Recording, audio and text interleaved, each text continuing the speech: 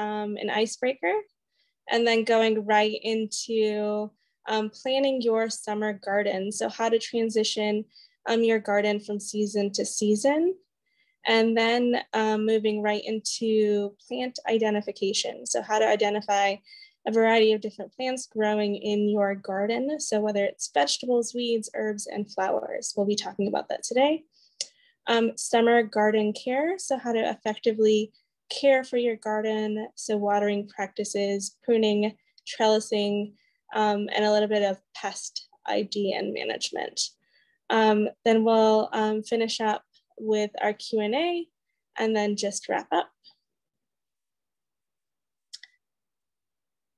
So for uh, today's icebreaker, um, we thought it would be fun for folks to drop right in the chat um, your name, preferred pronouns, um, learning garden school you are associated with, and then my favorite thing to eat this season is, so your response to that right in the chat. Um, so while folks are um, filling up the chat, um, I can go first. so Amina Bahlul, she, her, hers, um, program coordinator with Big Green, and um, my favorite thing to eat this season. And I've already told this to my Chicago team. It's got to be mangoes. It's got to be um, the smaller yellow Alphonso mangoes. Those are super sweet right now. If you hadn't had mango yet, I would highly recommend. Um, we at my house are a two person household, and for some reason, um, my husband is a fan that he decided to purchase two complete boxes of mangoes.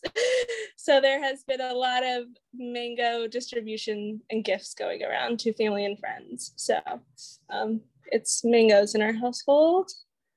So I'm seeing cucumbers, strawberries. So great. Celery. That's an interesting one. Don't get a lot of celery. Cherries.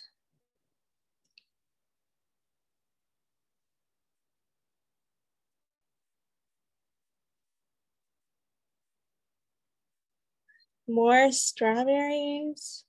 More cucumbers. Ooh, I love all the suggestions. Tomatoes, mangoes, cucumbers, limes, arugula, all of it. so great. So many options to choose from. So many great things growing this season.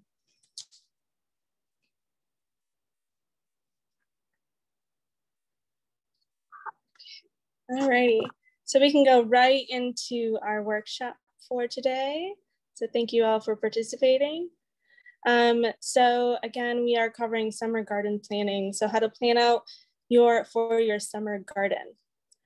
Um, so the first image that you find above is our big green growing calendar. Um, and that is essentially the calendar that we follow when we're working with our schools. Um, so you can see from the calendar that the spring growing um, season stems from April all the way to mid-June. And then you have a whole bunch of transitioning happening, schools closing out, and summer gardens are starting from mid-June all the way to mid-September. So um, the summer garden um, is a longer growing season. And um, during this time, folks are transitioning their garden from um, cooler weather crops, so things like lettuce and arugula and spinach, to more warmer climate crops like tomatoes and um, peppers. So plants that flourish in the heat. So um, transitioning your garden can be a multi-step process. Um, and we will be sharing with a video with you shortly that goes over each of those steps. Um, and it's really versatile and can be practiced from season to season. So it's not just exclusive from um, spring to summer. So let's go ahead and play that video. Whether you have been growing in your garden this past season or have had limited access to your garden, this session is for you. During this breakout session, we will be covering the process of putting your garden to bed for the season. Before any work can be done, it is very important to take a tour of your garden. This step will help reintroduce you into your garden space and allow you to assess all the work that needs to be done. Breaking up the duties can make the task seem a bit more manageable. When putting your garden to bed, you want to practice the five C's. Clean, clear, cultivate, compost, and cover. The first step in this process is to clean up your garden space. Be sure to come prepared with a trash bag and a set of disposable gloves. Start with the outside of the garden and make your way into each garden bed. Next is to clear out your garden beds. During this step, you will be clearing out plants ready for harvest, clearing out weeds and flowering plants, and pruning your perennials. When harvesting leafy greens, remove each leaf individually where the leaf meets with the main stem of the plant. Start your harvest with the outermost leaves first, slowly working your way inward. When harvesting greens, you can use your hands or a set of garden shears. For root vegetables, simply hold the leaves of the plant closer to the root, then twist and pull. When harvesting tomatoes and peppers, simply twist the fruit off the vine.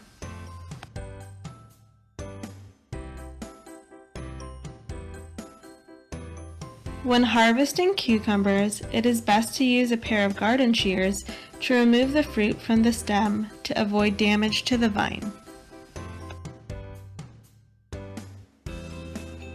When weeding a garden, it is best to equip yourself with a durable bag or garden trug for all of your weeds and a pair of garden gloves for any thorny plants. When weeding your garden, be sure to slowly work your way down to access unwanted plants from the base. With a firm hold, slowly twist and pull up. This method helps to effectively remove weeds from the root. Plants that have started to flower should be removed from your garden. This can be done by fully uprooting the plant. However, if the plant is a perennial, this method is not advised. For perennials that have started to flower, simply remove the flowers with a pair of garden scissors or pruners.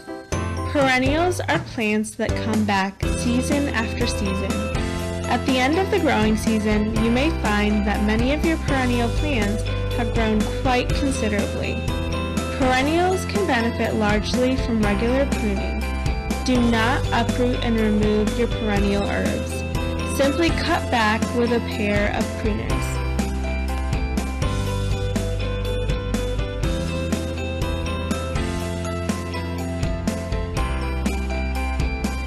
Once your garden beds have been cleared, it's time to cultivate. This process consists of breaking up and turning the soil. This task can be done with a cultivator, a shovel, or even a trowel.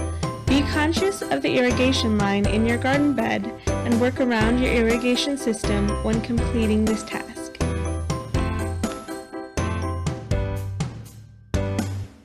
You can also use your hands to break up and declump the soil.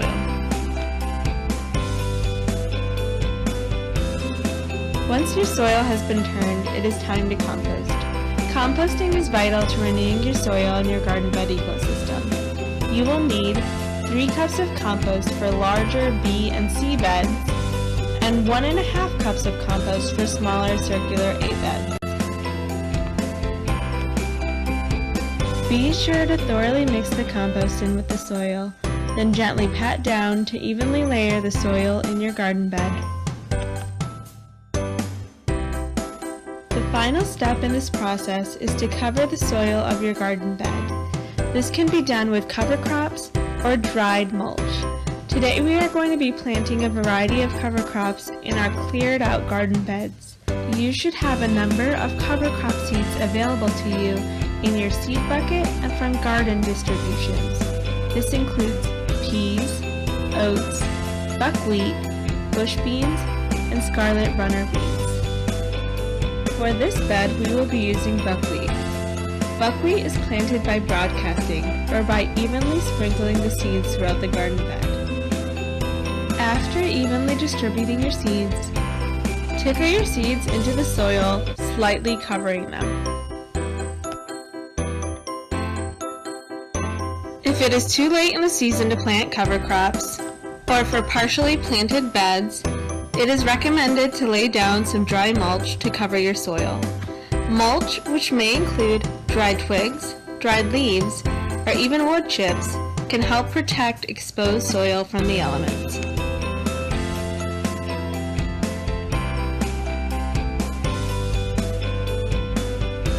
Don't forget to water your seeds. This can be done with your irrigation system or done manually.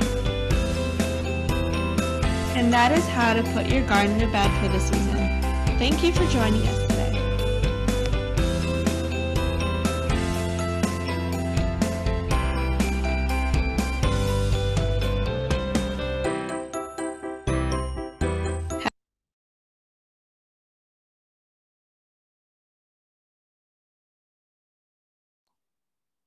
Great. Thank you. Um, so that video was made um, with the intent of going over how to put your garden to bed, so how to close your garden out for the season, but it still applies when you're transitioning your garden from one season to the next.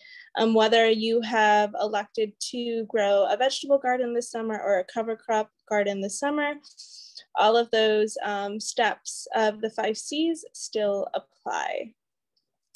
Um, so one thing I will say, and we can move on to the next slide, is um, transitioning your garden um, can look very different depending on how you and your school community, um, your school growing community decide that you wanna implement the five Cs. Um, so you have a number of options available to you. Um, option one um, is clearing your entire garden um, of vegetation and plants that are growing minus the herbs. So that means that you're uprooting and pulling out all of the plants. So if you have planted this past spring season um, and you've still got some lettuce growing in your garden, um, that you're gonna uproot those lettuce plants um, and um, work from kind of a, a clear slate but you are leaving all of your herbs growing in your garden. So that means your rosemary, your thyme, oregano, and sage. Um, you want to leave, be sure to leave those in your garden bed um, because those are perennial and they will come back. Um, and then from there, you can go ahead and plant your summer garden. Um, so a complete turnover from season to season. Um, the next option looks a little bit different. Um, and that is option two, um, and that is interplanting. So basically when we say interplanting, that means that you are planting a variety of different crops within the same bed. So say for instance, you did plant in the spring and you still have a lettuce plant that is not has not grown to full maturity and you would like to keep it in your garden and wait um, until you can harvest it um, to its full potential, you can absolutely decide to leave those plants in your garden beds and um, plant some summer crops around those spring plants. So interplanting your spring crops um, with some of your summer crops. And then um, when it's time to uproot those um, spring crops, you can plant some more summer crops and have a little successional planting going on in those garden beds. And then the final option would be a, a combination of both of those methods. So that may mean that in one garden you, bed, you decide that you want it to be completely clear and pull out all of um, your spring plants, while in another garden bed, you decide, um, I wanna keep some of these plants and allow them to continue to grow and plant some um, some summer um, crops in that bed. So um, your gardens and transitioning your garden can vary depending on what you decide as your school growing community and what best fits um, in your garden. So as you quick examples. Yeah. Um, so like uh, radishes, for instance, would be like a perfect example of like if you had a bed of radishes, you'd want to harvest all of those, and that would be completely uprooting all of your plants, and that would be a bed you're starting from scratch. But say you have um, kale that you planted in early spring, and that's still producing well. Those would be plants you'd want to strategically leave and um, kind of work. You could harvest them all, of course, and plant something else, but um, those would be good examples of plants you'd want to maybe interplant around. Thanks, yeah, Amina. So um, as you are working and deciding on how you want to transition your garden, um, we're asking folks to um, be a bit cautious and mindful of all the different plants that are growing in your garden, um, especially for folks that may have planted um, garlic in the winter. Um, so your garlic should be coming up now. Can we go to the next slide? Um, and it should be ready to harvest in July.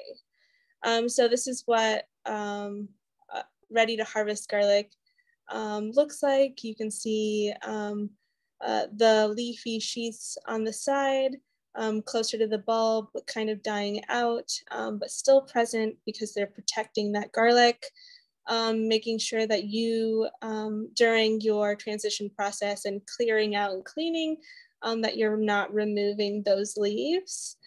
Um, and um, you can definitely plant around um, your, your garlic until it's ready to harvest in July and then plant some more su summer um, crops that can go in its place once it's harvested.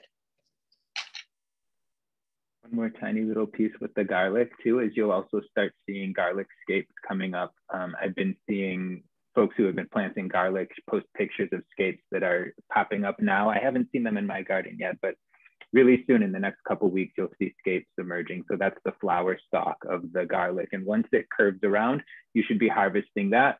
Um, and it is delicious. It tastes like garlic. And then that will encourage the plant to create a larger bulb for you to harvest later in the season. Um, probably, yeah, at least in July will be about when the mid-July will be when those garlics will be ready to harvest. Yeah, absolutely. Thanks for that. Um, so moving on to our actual summer garden plan. So the plan has not changed. Um, it's similar to previous um, years.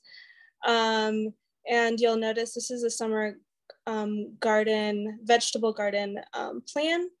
Um, we've allotted space for folks to plant, in addition to vegetables, um, flowers, and perennial herbs as well. So our vegetable garden is to broken up into three main parts. And we can talk more about that, yes.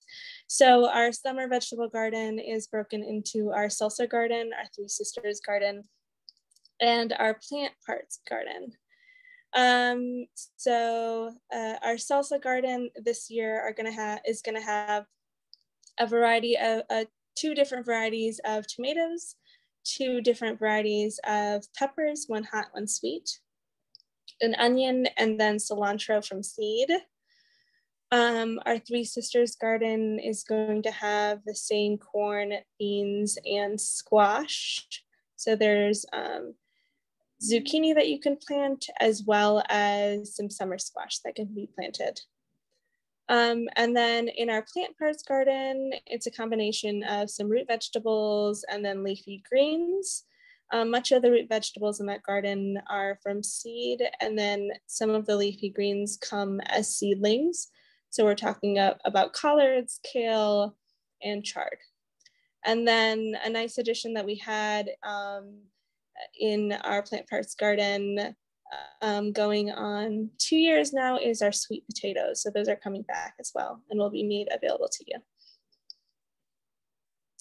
Um, so something to consider and um, just quickly, I know some folks are um, uh, talking about, um, have kind of talked about um, uh, customizing their um, summer garden plan, uh, which we are always excited to hear schools doing. So making some modifications, additions, what works best for their schools, adding um, more additions to the salsa garden, adding an extension to the Three Sisters, or just more veggies. Um, and we love hearing those stories. But um, as you're working with your garden team, just things to kind of keep in the back of your mind. Um, and I know that we've kind of briefly talked about this in previous workshops, and we'll just touch quickly on it. Um, this topic is a very big, big topic, and if folks are interested in it, we can definitely hold um, a workshop exclusively about this, but companion planting. So um, being a little, a little bit conscious of what plants work best with each other and some plants that don't work best uh, very well with each other. So taking a look at this um, tomato plant, um, we see on the left, it's growing beautifully with parsley, garlic, basil, um, those are tomato and nightshades companions. Um, and then on the right side, you can see that our tomato plant is not as happy um, when it's paired with things from the brassica family. So things like fennel and broccoli and cabbage. Um, and a lot of that has to do with um, uh, the, uh, both of those families of plants um, fight for the same resources, introduce the same pests to the same garden bed.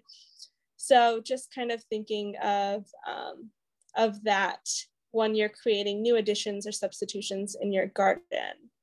Um, and you can definitely feel free to reach out to myself and Sam um, if you are um, designing up a new garden plan or just had a quick question about um, some plant pairings or groupings. Um, so as you are planning out and prepping your garden, another thing to consider, um, oh, uh, so just quickly before we talk about the next item is for folks that, um, oh, we can go back to the cover crops, um, are folks that have elected to um, uh, uh, uh, plant a cover crop garden this, this year um, sweet potatoes will be made available to you. And um, just being mindful of um, the growing placement that um, we've indicated on our map here. Um, so I'm looking at things like sunflowers and nasturtiums. Um, so sunflowers, as you can see from the map, were are planted at the middle of the garden bed just to kind of ensure that um, um, a plant as tall as a sunflower is not shading other plants um, in the same bed and they have received sufficient sun. And then um, our nasturtiums are planted at the edge of the garden bed. So um, nasturtiums can grow really big and like to um, kind of spread out. So planting them at the edge of the garden bed ensures that that um, happens. Um, so, um, and then just some, and we can go to the next slide. Um, I know we touched a little bit about companion planting, but as you are planning out your garden, regardless of whether you are deciding on planting a vegetable garden or a cover crop garden, something to keep in mind um, is crop rotation. Um, so crop rotation is a practice in which you are rotate rotating um, different plant parts um, throughout your garden. So that means that um, leafy greens are rotated throughout the garden, or fruit, um, or even um, roots are rotated throughout the garden. So rotation, and Sam is going to talk a little bit more about how this can help manage with pests, and it can help with soil health as well. Um, and much of that has to do with a lot of the different plant parts have different needs when it comes to garden, the garden and nutrients. So leafy greens require a lot of nitrogen, roots require a lot of phosphorus, and fruits require a lot of potassium. So having kind of the rule of thumb of um, whether you plant um, in your learning garden every season or just kind of on an annual basis, um, rotating it out um, your garden bed every season or, or every year.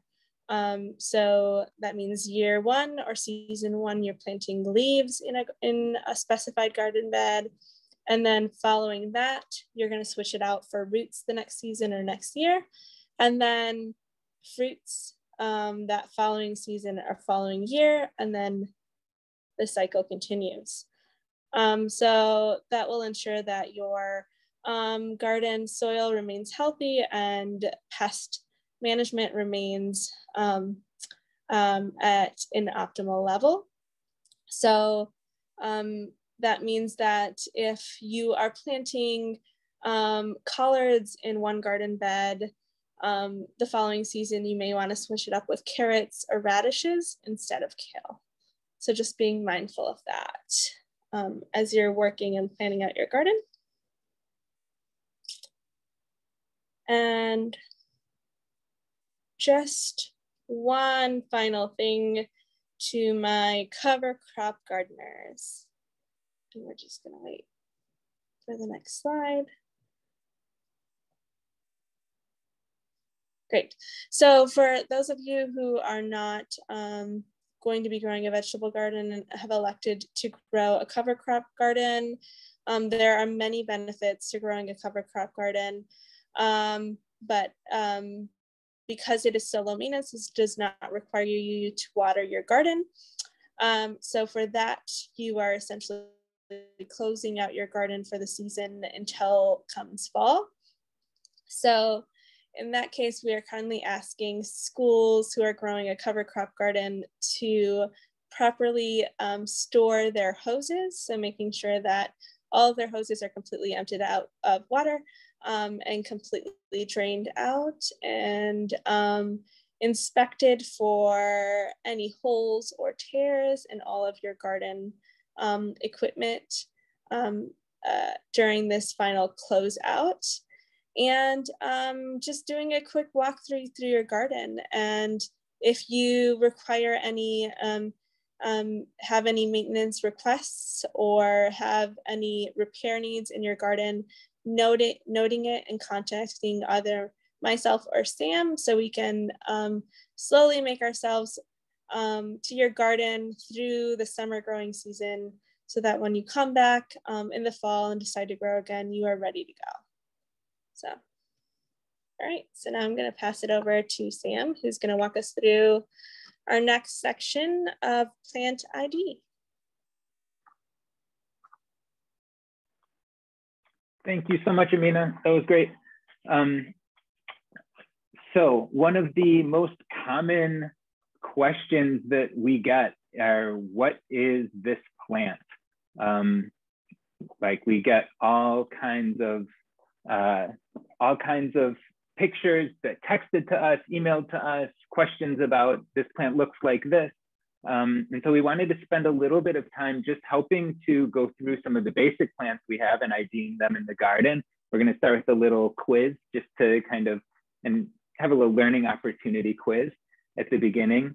Um, and then we're going to go into some of the botanical ways that you can start thinking about plants so that you can have a little bit um, little bit more vocabulary to start comparing plants to each other and getting to know your plants, just what to look for when you're looking at plants. So you can start to think about um, getting to know what plants are growing, not just in your garden, but all around you um, in the city, if you go on walks by the beach or in the woods, anytime you're in nature, getting a sense of, of what, what are the plants that you're looking at? How do we identify them? So here are um, two pictures from our gardens.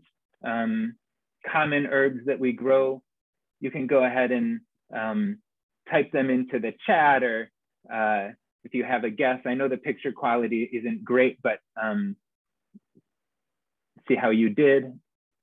We have basil and cilantro. Next ones.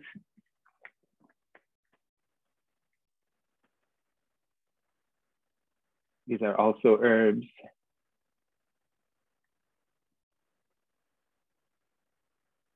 Yeah, a lot of you are getting the sage over here. You've got mint and sage. Mint and basil and sage are all in the same family, so there's some similarities. They both have kind of similar leaf shapes, similar patterns on the stem. We're gonna talk about that later. These are getting more into some vegetables.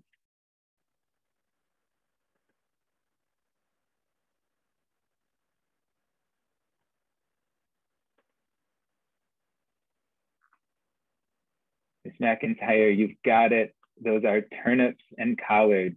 Might, those collards could be cabbages or broccoli, but those are collards. And yeah, I can see these turnips looking like radishes, but um, I'll actually get to some of the ways we distinguish, we can distinguish radishes from turnips when we get a little bit further on in the presentation. These ones I think are pretty obvious.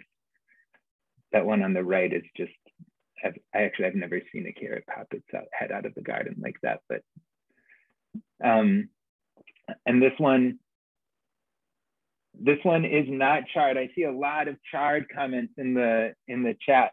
Chard and this plant are cousins. They're they're related. They're in the same family, but you can see down here at the bottom at the base, you can see it's a beet. Um, right, that beetroot is popping its shoulders up out of the shoulder, just like the carrot is. Um, and and yeah, beets and Swiss chard are are almost the exact same plant. One has been bred to produce just leaves and stems that we eat and not really the root. And beets, you can eat the leaves, the stems, and the root. Um, so that's that's great. And they all come in different colors, which is really, really awesome to be able to plant and see those different kind of showy colors in the garden.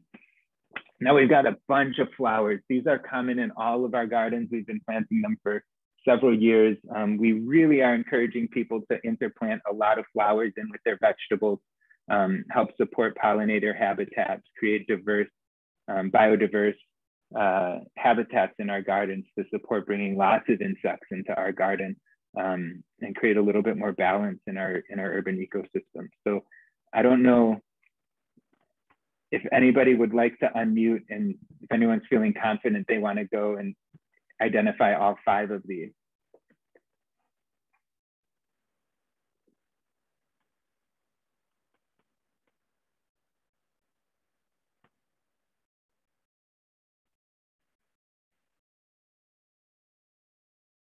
All right, that's okay. Let's. I'll. I'll. I'll expose. I'll. I'll. I'll bring the answers in.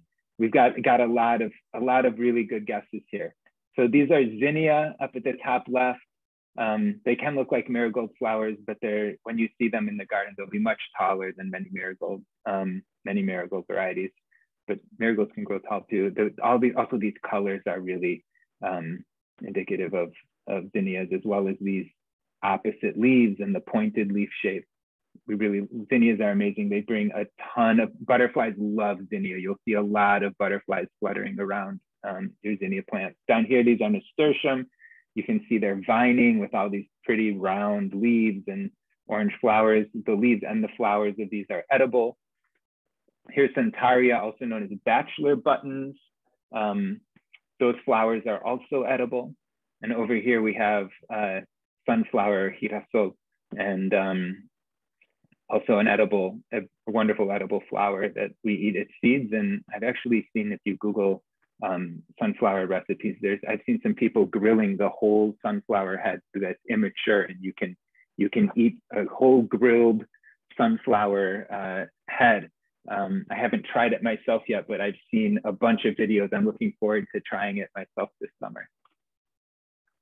So now let's get into some of the things that we really need to look at when we're comparing plants.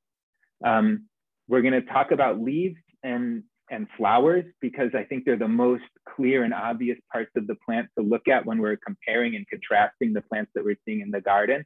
Um, as you're out in the garden, these are the things to pay attention to on the plants and say, oh, this basil has uh, uh, elliptic shaped leaf. And you don't have to know these botanical names. I don't know, I don't have these names memorized for leaf shapes or for margins, right? I'm not gonna go to my uh, lemon balm and be like, oh, is this is this a, a crenate leaf margined leaf or is this serrate? Like, right? But I do notice this is the pattern, this is the shape, this is this is the way that this look leaf, this leaf looks. And so when we're comparing and contrasting our leaves together, we can start to see some of these differences. So I'm going to go back really fast to these herbs. Here you can see the shape of the mint plant and the kind of serrated edge. And then when we go back one more to basil, you can see it's, it's not really clear. We're not close enough to see, but the basil, it's in the exact same family as the mint, but its leaf is smooth. The edge of the leaf is, is completely smooth. So again, like just like subtle differences um, that you can start to pick up on that will really help us to be able to um, to understand and get to know what is happening in the garden when it comes to identifying plants. Next, I mentioned this earlier when we were talking about um, the mint family plants, is the way that the leaves are arranged on the stem. Um, so alternate leaves are arranged where one leaf comes out, one node um, at a time, and one will go to one side, and the next leaf will be up farther up on the stem in another direction, and the next leaf will be farther up on the stem in another direction. Opposite leaves are two leaves are coming out side by side from the stem at the same spot along the stem. And then there's two kinds of opposite leaves. So this one towards the left is uh, two ranked opposite leaves where they're in the same direction going up the stem.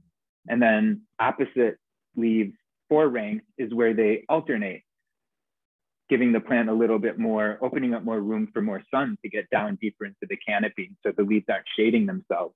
Um, every plant in the mint family, you'll notice. So um, the basil, the mint, the oregano, the sage have opposite four, four leaf, uh, sorry, opposite four ranked leaves.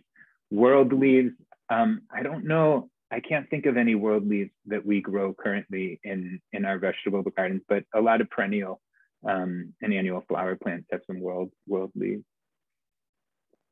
The other thing you wanna be looking at is texture. I mentioned distinguishing the difference between turnips and radishes. Um, those plants can look similar when you plant them both in the garden and you're walking around. The leaves have kind of a similar shape, um, but the textures of those leaves are very different. Radishes have very rough um, rough leaves. They you can feel like almost like hairs. Um, like they're not thorns at all, but they're rough.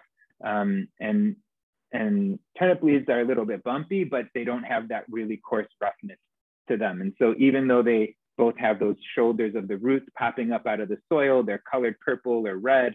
Um, their leaves are similar green shapes, similar sizes, similar kind of crinkled texture, but when you feel them, you can you can really feel it. If you looked at them really closely under a microscope, you would see um, difference in the hairs on the leaves. Next is flowers. So depending on what season you're in or what point in the life cycle of the plant, you might not have a lot of leaves to look at to compare.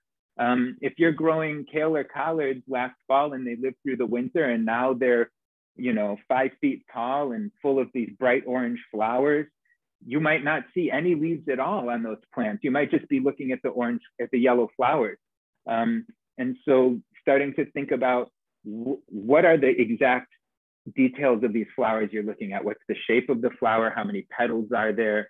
Um, are they how are they symmetrical are they symmetrical down the middle are they symmetrical in like thirds um, paying a lot of close attention to not just the color but the shape of the flowers of course you can get really detailed and look at the all of the way that the reproductive organs work and the glands and all of those things but we don't need to get that detailed right let's just keep it simple acknowledge that flowers look different and then start to think about are there names for this? Or are there ways that you as a teacher can start to recognize different parts of the flowers, different shapes of the flowers, different colors of the flowers? What are the words you can use to describe um, describe the parts of the of the flowers? Over here, like you can see on the pea-like flower, um, there's a banner, there's a wing, there's a keel.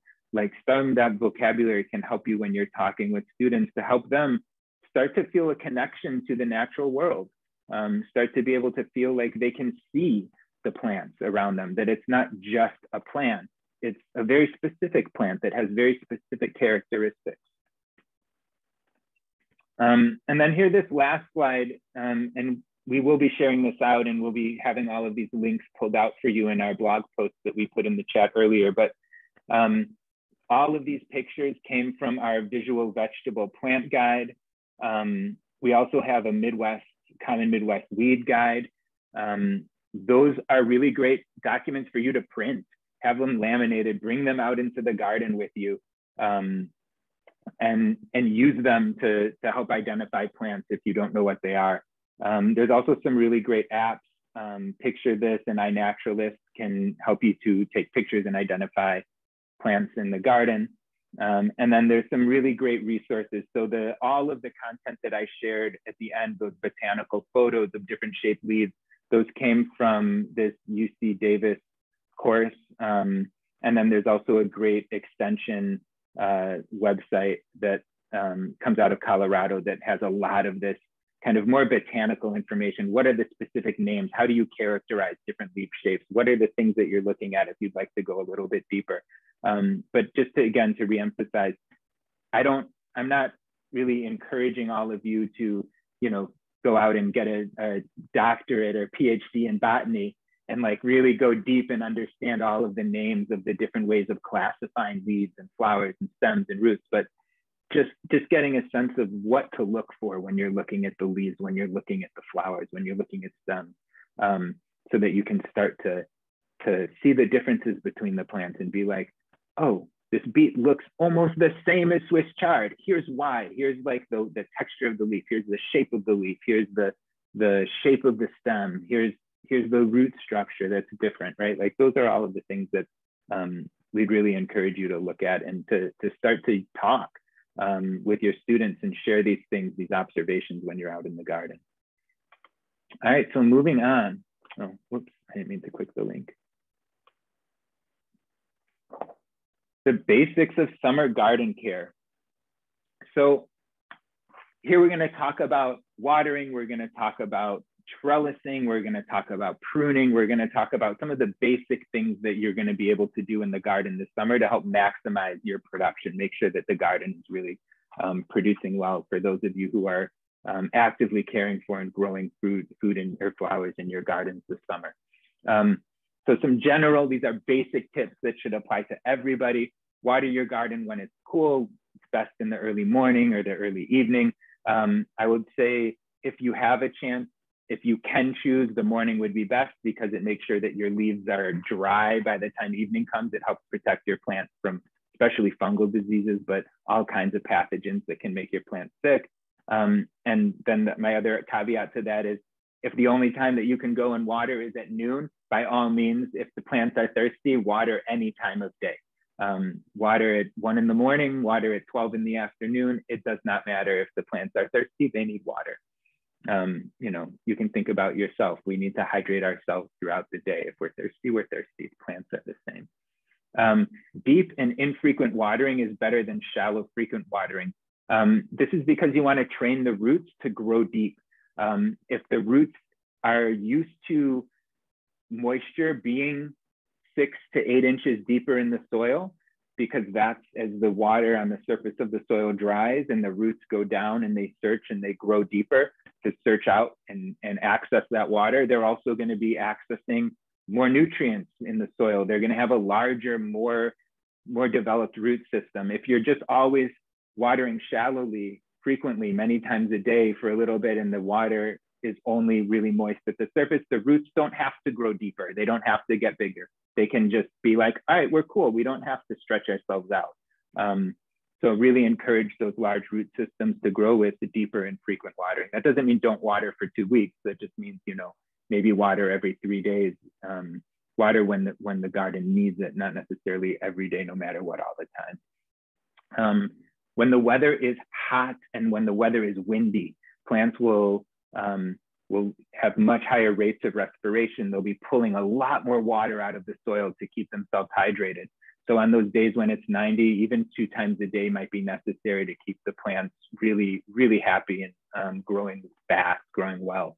Um, of course, if you can't make it out to water on those days and you come back the next day and the water, the plants are limp, you shouldn't have to worry too much. You can revive them with a nice deep watering. Um, but yeah, keep your keep your eyes on on your plants, especially on those really hot days. They're really going to be be thirsty. Um, use an irrigation timer if you can, if you can leave your hoses out and have a timer going and let your garden be watered every morning for you, no matter what. it will take a huge load off on the amount of labor it takes to take care of the garden. Um, make watering schedules if you can. There's a link here to our watering page on our website that has watering schedule templates and letters and things like that that we've already crafted for you that you can just adapt for your own needs.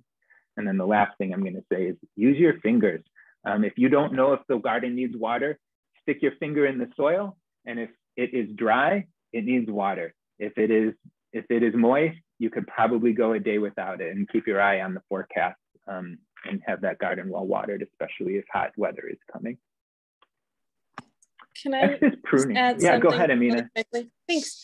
Um, so just to give folks an idea of watering, when you're watering, especially top watering, 30 to 50% of the water is lost due to evaporation. So you might have watered, you're, you're feeling good about watering your garden and um, much of that water is not received by your plants. So um, we always tell our schools you're more likely to underwater than overwater. So if you can do it, like as Sam was stress stressing, um, please do. Thanks. All right, thanks so much, Amina. Yeah, absolutely. Um, so pruning is something that I think a lot of people are intimidated by. Um, it's something you can mess up, right? Like it's easy to cut a stem or a leaf or a flower off of a plant, but you can't put it back on right? Glue and tape won't won't help us um, here. And so we wanted to start with the plants that are most basic to prune um, and give you some guidance for helping to support your plants in ways that will make them more productive. So we're not just pruning just because. The reason why we're pruning our plants is really twofold. One is to control their size so that they're more manageable. Um, so that there's more access to sunlight, there's more access to air. Um, they can they can grow in ways that are are more healthy for those plants and are easy for you as a gardener to care for them. Um, and also the way that we prune the plants can encourage them to produce more fruit as opposed to more herbaceous growth, more um, leaves and stems. So let's start with tomatoes. It's kind of maybe the maybe the best plant to start your pruning experience on if this is something that's new for you. Um, and there's two kinds of tomato plants. There's determinate and indeterminate. An indeterminate tomato plant or indeterminate of, of any plant will grow and grow and grow and grow and grow until the season tells it that it's time for it to die or its life cycle tells it that it's time for it to die. Um, it, it will, an indeterminate tomato plant could be 12 feet tall. Um, a determinate plant grows to a certain size, produces flowers and fruit, completes its life cycle and dies. So it will only grow depending on the, the variety of plant, maybe three feet tall. It will produce its flowers and that's it. And so we don't want to prune those determinate plants because we want them to be as big as they're going to get and have as many branches as they're going to have. They will stop growing. They're almost self pruning, right? Not really pruning, but they determine how large they're going to get for an indeterminate plant in our learning garden, those can be a little bit unwieldy. Um, and you know, you could have a, a, tomato plant that's sprawling all over the place, falling over, knocking over your trellis um, or your tomato cage. And so those would be plants that you'd really want to think about pruning. So to do that, let's look at this diagram here. Um, up the main stem, you will see large, these large compound leaves, they're alternate, growing on either side of the stem, one at a time. And then in, right here, it's called the axil, or I think of it as a node. In between the stem and the leaf is this sucker. And here you can see it in this box over here on the left.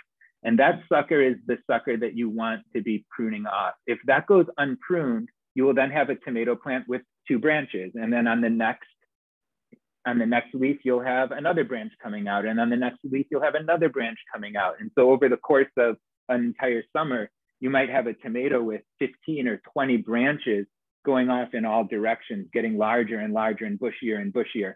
And rather than the plant focusing on growing bushier and larger, you want it to focus on these flower clusters. You want those flowers to develop. You want more flowers to develop. You want the plant to put its energy into producing fruit.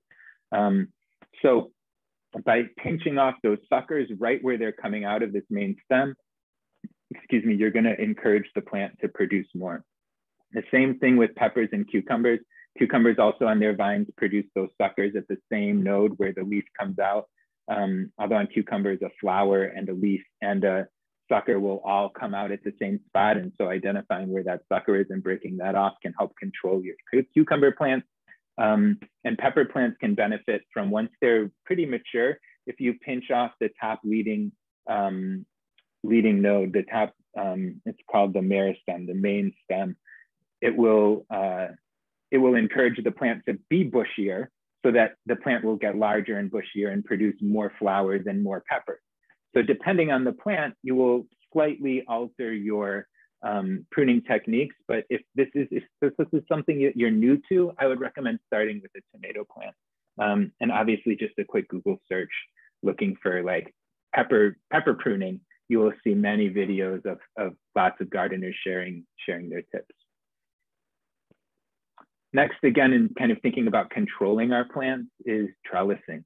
Um, so especially plants with heavy fruit, I'm talking about tomatoes, cucumbers, eggplants, peppers, um, and, and then even thinking about vining plants. So I mentioned cucumbers, but pole beans all really require vertical support. This helps the plant stay off the ground and stay healthier. It also um, helps us use more space wisely in the garden so that plants are growing up vertically instead of across the soil, making room for us to grow more. Um, cages are a simple, easy solution for tomatoes.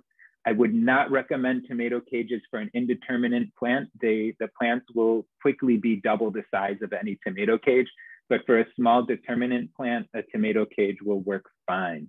Um, I would also recommend if you're using cages for a tomato to secure um, some extra stakes around the cage too to help bolster it and make sure it's secure. Once, you know, if we're in August and the plant is weighed down with fruit and we get some really heavy windy days, it's easy for that plant to just knock the whole trellis over. And so securing it with some, some more sturdy stakes can help make that um, really strong. The last thing I want to say before we move on to the next slide, we're going to be talking about trellising for the next couple of slides, but install this trellis when the plant is young. Um, ideally, right when you've planted it, put the tomato plant in the ground, put your trellis system or whatever you're using over it. Um, it is going to be nearly impossible to get a trellis around a plant once it's mature. And so having it in place that you can tie the plant to or help train it up against the trellis while it's growing is much better for your plant and for your sanity. Here are some other examples to use stakes on these peppers. Here you can see these larger cages around these eggplants. That might be a little bit overkill for that eggplant, um, really sturdy, but you know, I would say really probably a cage like that would be beneficial if it was taller for something like a tomato that needed a little bit more sturdy support. Creating trellises is a great opportunity to use what you have um, finding sticks. Here you, you can see some bamboo poles that are used. Um, you can see these bean plants winding their way up the, up the, the bamboo pole here. Um, and twine working well to tie plants up to those trellis is a great idea.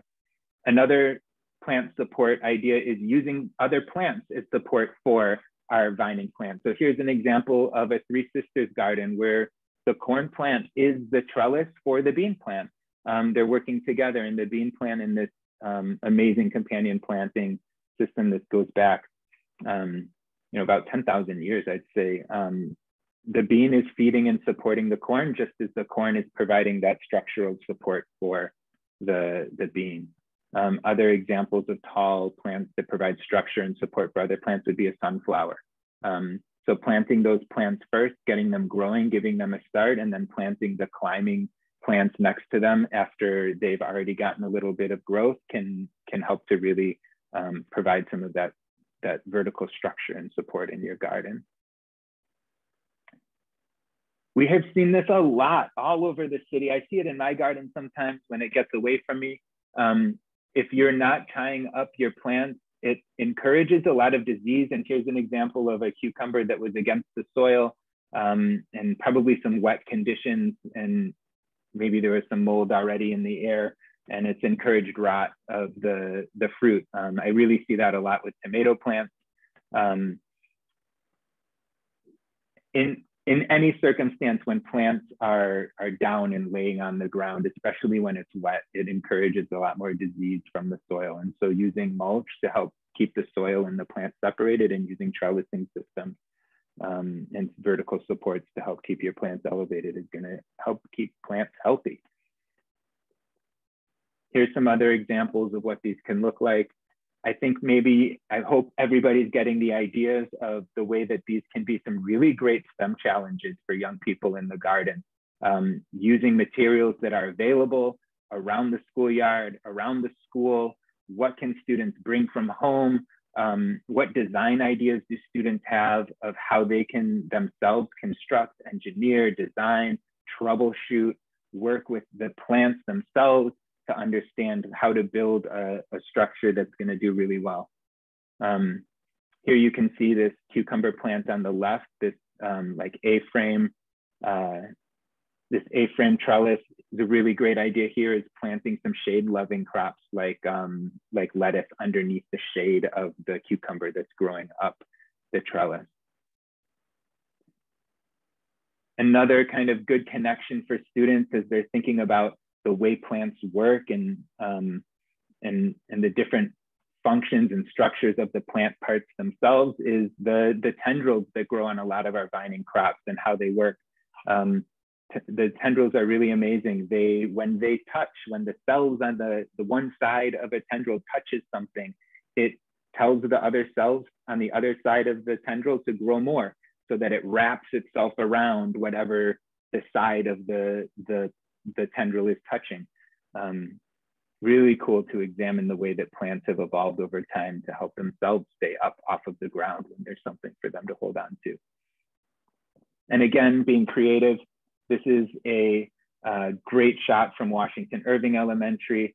Um, a great teacher there, MC, found a bunch of twigs on the side of the road one day and threw them in her trunk and brought them to school and her students spent uh, a morning and built this this arch structure in their garden that they were growing peas up.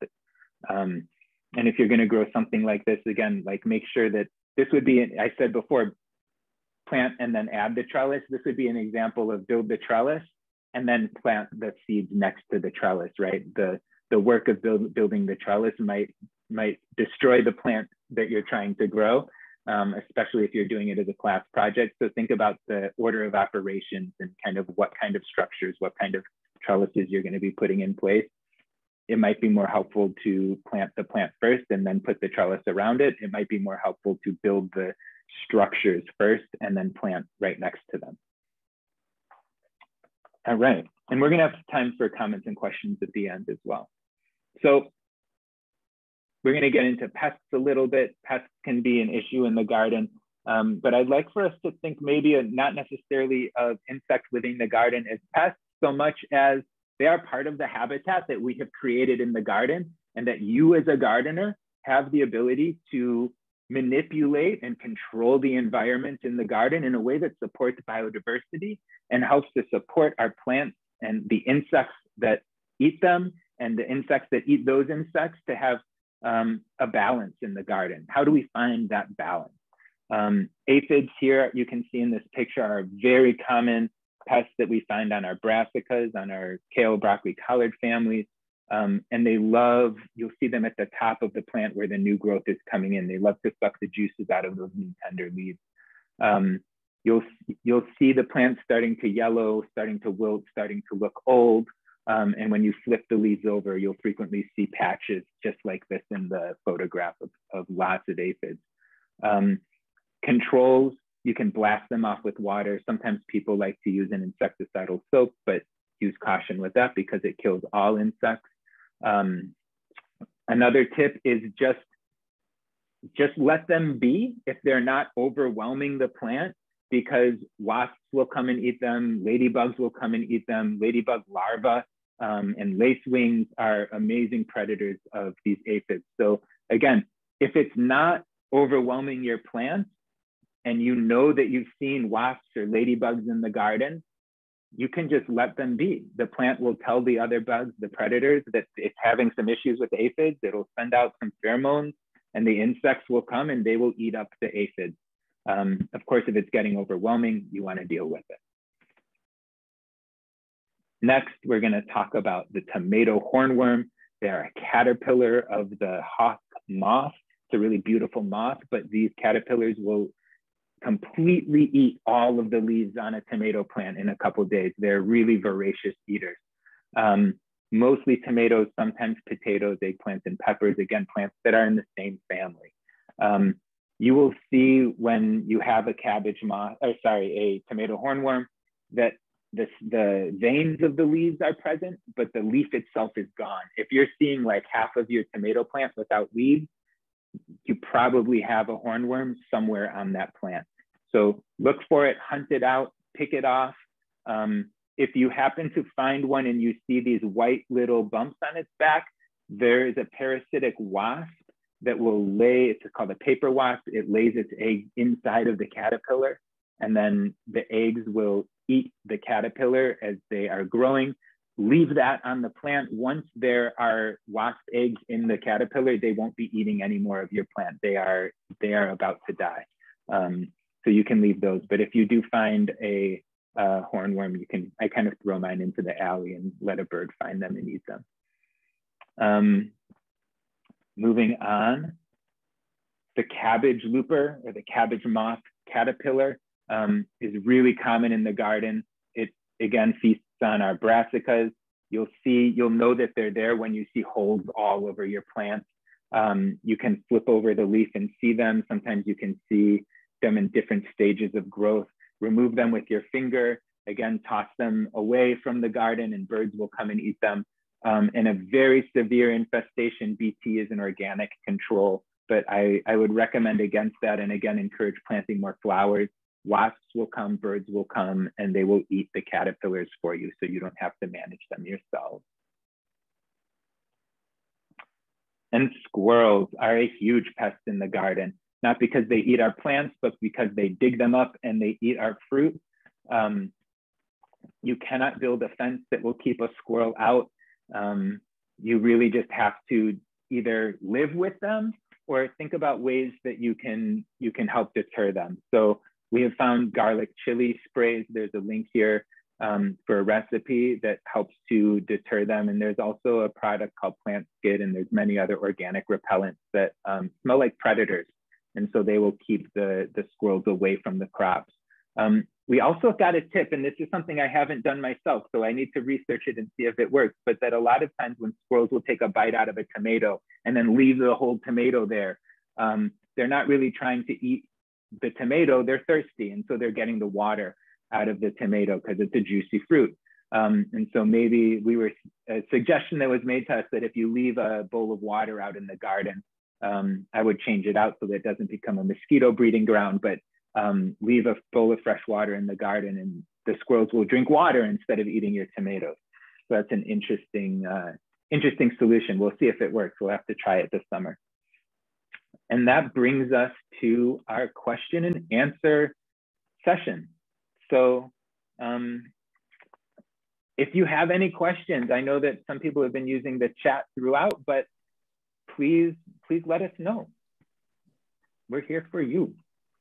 Um, is it Jan Marie? You've done that? Um, yeah.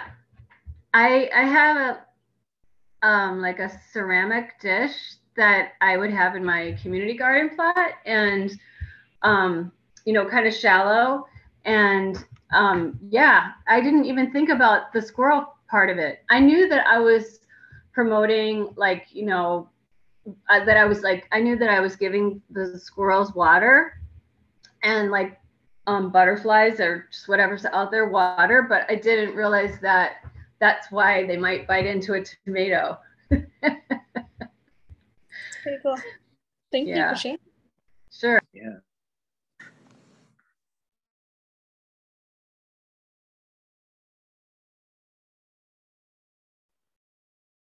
And I know we've grown, we've shared a lot of information with you all today. So, um, um how can you tell if a um, tomato plant is um, determinate or not?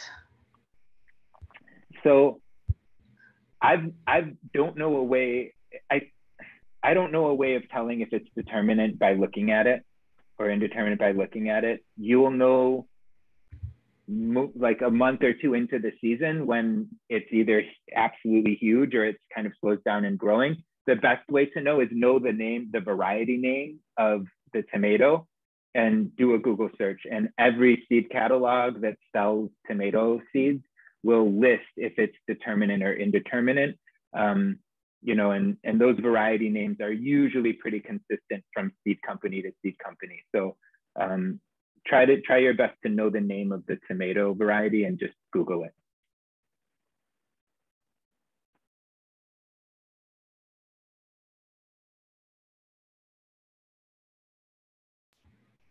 And then the link that you gave us for um, companion plants and crop rotation, like do we have that so we can look at it? I'm sorry if I missed that information. Yeah, I put a link in the chat to a book actually on companion planting that just came out this past year that is based in research um, and is really interesting. The author is like trying to get away from a lot of kind of folk traditions of companion planting, which I actually find to be really fun and exciting and enjoy kind of those like indigenous ways of knowing and the, the, historic ways that we've determined that plants do well or don't do well together.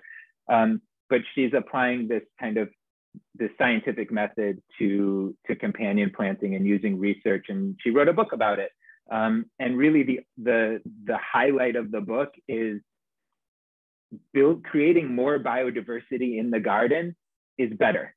So anything that you can do to create more habitat for more insects, for different plants, for birds, for small mammals, the more balance there is in the garden, the the better that your your plants will do.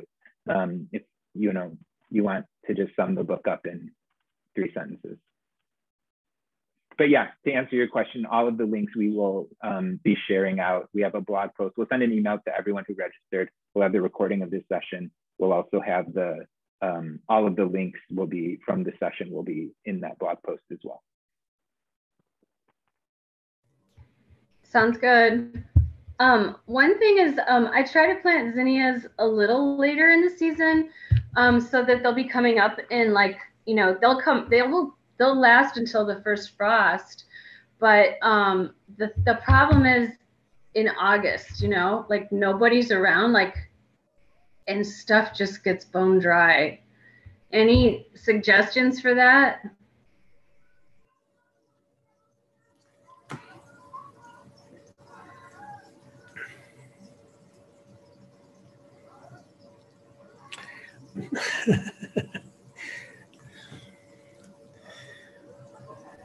Guess Sorry, not. I was muted.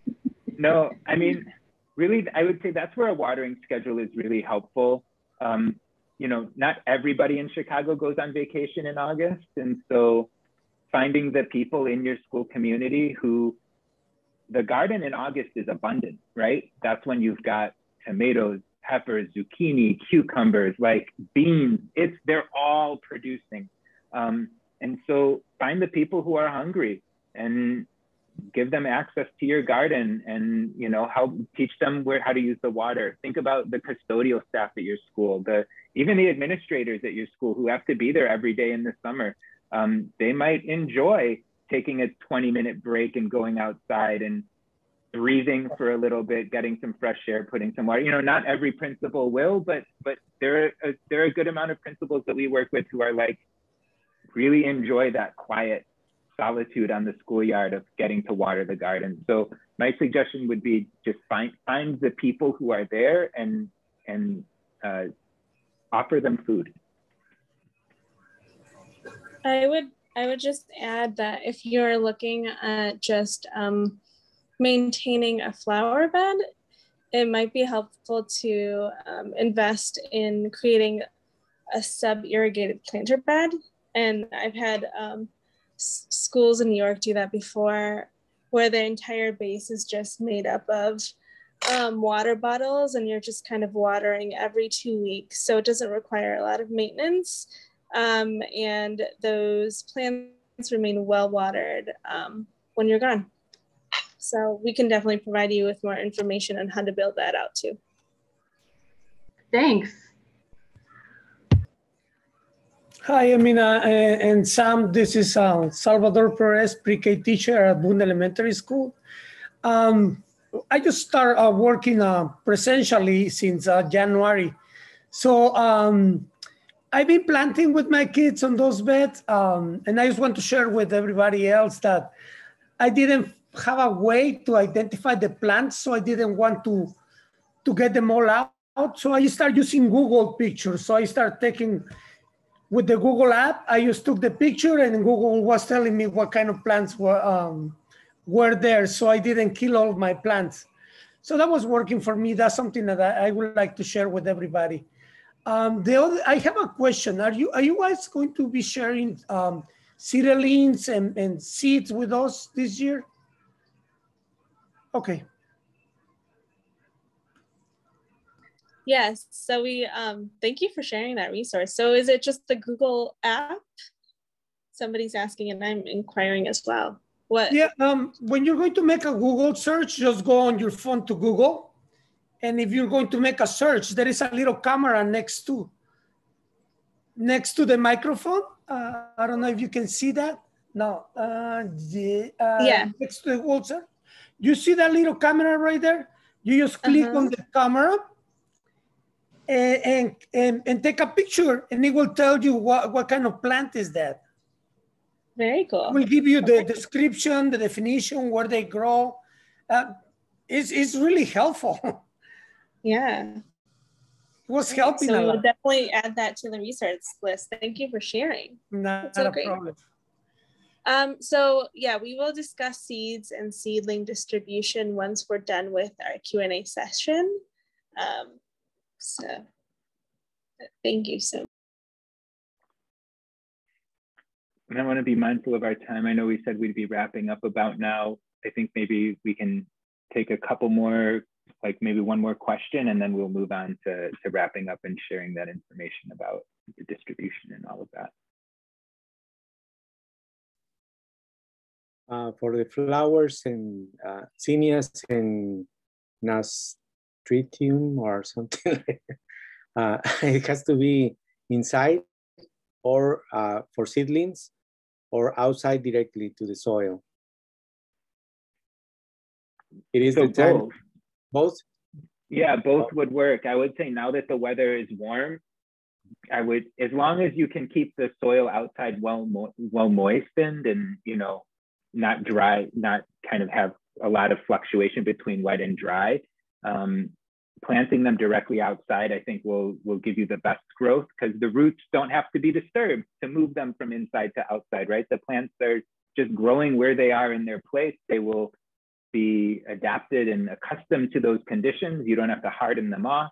Um, I think just direct seeding them. So yeah, zinnias, sunflowers, nasturtium, um, bachelor's buttons, calendula, marigolds, right? Like all of the common garden flowers. Um, I, I would just direct seed straight into the garden right now. But of course you can start them inside and move them out. I start some inside, but the grow was very slow.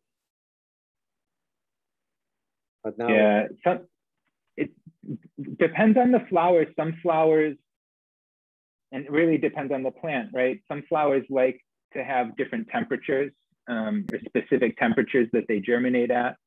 Um, some flowers just herbs germinate very slowly, right? Like oregano, rosemary. Those are plants that could might take three weeks before they germinate.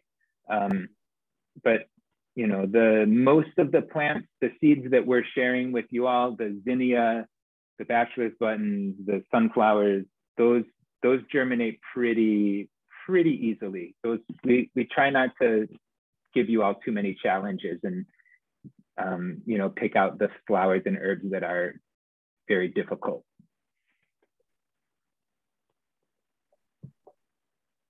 It's a good question. All right, I'm gonna start sharing my screen again and we will, um, we will wrap up our workshop.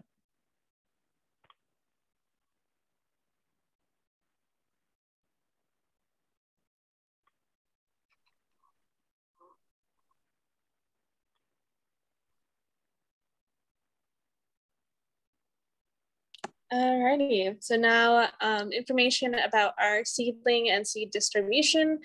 So thankfully this year we are having one and it's going to be held over um, the weekend of June 5th through the 6th. So um, we've emailed our network out with um, a seedling request form. So if you've completed that form, um, you were required to sign up for a pickup time um, during those two days. Um, we're asking folks to complete the form with only one individual per school. So reaching out to your um, team and assigning an individual who's going to take on that role of both completing the form and picking up the seeds and seedlings. Um, so the seedlings that we are providing this year are collards, chard, kale, green onions, um, two types of pepper, one sweet and one hot, two types of tomatoes, and sweet potatoes, slips. And then um, for schools that currently don't have herbs growing in their garden, whether it be they have never received them for some reason or they were pulled out, um, we have a select number of herb bundles available to those schools so which includes oregano, thyme, sage, rosemary, chives, and um, basil. Um, so if you have any questions to um, for us regarding the seedling distribution, um, feel free to contact us at our Chicago program email, chicago program at biggreen.org. Um, and we will email folks that have completed the form and registered with their um, information regarding their pickup time as well as the pickup location. So um, that is at Christy Webber Landscapes. Um, and we're gonna um, have signs at the site directing to you um, to where on site um, you can pick, pick up your seedlings. So all of that information will be sent out closer to next week.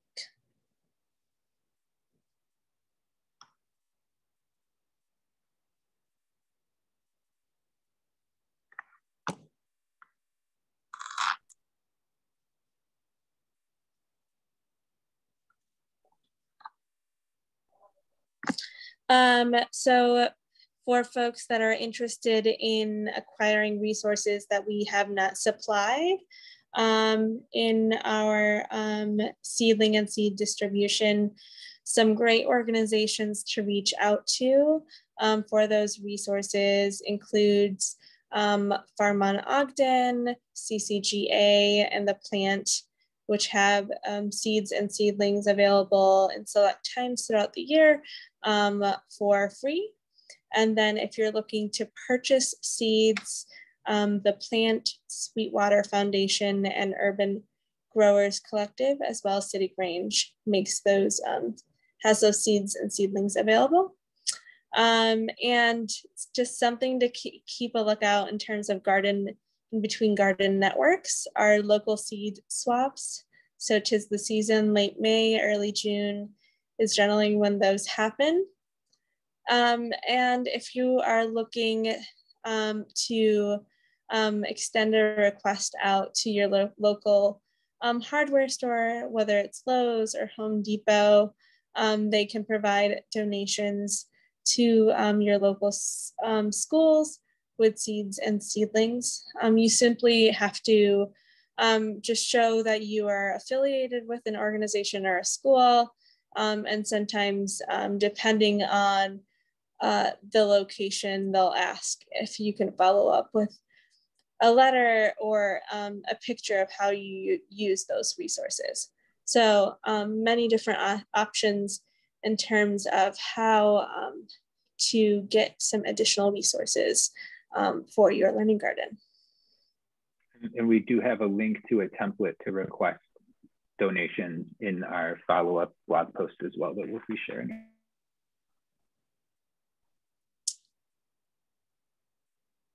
Right. Um, so in terms of Big Green supports this season, oh, um, so um, we this is our last workshop of the school year. However, this summer we have partnered up with Face to Face and our parent network to hold um, a summer garden series um, in which we will be covering different um, uh, garden how-tos um, uh, every two weeks throughout the summer. So that will start um, in the middle of June and extend all the way um, into August, covering things from biodiversity, watering your garden, and soil health. So just something to keep a lookout if you're interested in attending um, garden workshops over the summer. Um, so we are still providing schools with our virtual um, supports um, until the school year is um, over. So if you are still looking to plant um, your summer garden or trying to find how best to harvest out your spring garden, um, please reach out to us um, through our one-on-one garden planning um, meetings and reach out to myself and Sam. Um, we can um, provide you with um, virtual as well as some in-person garden visits depending on the request. And there's plenty of online lessons and resources available on our website, um, both at biggreen.org and Big Green at Home. Um, and um, we have reached out to schools in the past um, who are interested in um, uh, uh, providing um, their, their growing community with grow kits. So if you are still interested, either it be this season or come fall, please reach out to us with that request so we can make it available to you in the future um, as they become available. Yeah, and we'll, those of you who responded that you're interested in the survey, um, where you also requested resources like seedlings from us that we'll be distributing on the 5th and the 6th, um, we'll be following up with you as soon as those are available. Um, it might it might be a little bit later over the summer rather than um, right rather than during the spring. And then oh one other thing we haven't um, we didn't announce this in the beginning, but our Big Green program team is now Amina and myself, um, and we will be hiring very shortly. And so if there's anybody in your network that you think would be excellent for doing this work, supporting all of your school gardens, um, please keep a lookout for um, that job description. Um, we're, we're looking to get ourselves back up to a full team by, by the fall so that we can be there for you, with you, as you're welcoming students back to the garden and back to your classrooms for the fall season. Um, so that really kind of brings us to the end. As we mentioned, we do have uh, CPDU credits available for this workshop. Um, Amina can put the link to our evaluation into the chat. Um, it's a PDF that you can fill the form out um, and email it back to us. Please, when you send that back, include in your email your school name, your Illinois educator ID number, um, which if you do not have, you do not know your Illinois educator ID number, also Amina just added that link into the chat as well um, that will that will kind of be processed in the next week or so. So please get it back to us quickly, um, and we'll we'll get those credits to you. We'll reply with a uh, evidence of completion. Um, we mentioned earlier, please sign up to pick up summer supplies that include summer seeds that you'll be able to pick out from a wide selection of seeds what you need. Um, summer seedlings that include herbs and vegetables, um, cover crop seeds, flower seeds, and we also have four bags of compost available for everyone who signs up if you need compost for your garden. Um, and that will be Saturday and Sunday, June 5th and 6th. Some of the time slots have already filled up. Um, and so please just select on the survey what is available. That link again is in the chat. And that will be at Christy Webber Landscapes um, main headquarters at 2900 West Ferdinand Street in uh, in in uh, Humboldt Park. Um, it's a little bit kind of out of the way and hard to see. It's kind of in a frontage road behind the old Center for Neighborhood Technology there. Um, but we'll have signs up to help direct you to where we're at. Um, and again, if you are interested in getting in touch with me and Amina and you're used to reaching out to Alana or Catherine or Sean or um, Marla or any of the other amazing garden educators, program coordinators who have been on our team um, and don't have Amina and my emails handy, we did create this Chicago program at Big Green that we're monitoring daily to make sure that everybody has access to Amina and I and our support throughout the season. Um, thank you all so much for joining. I can stay on for another minute or two if anybody has any questions, but that wraps up our workshop for today. Thank you all so much for coming.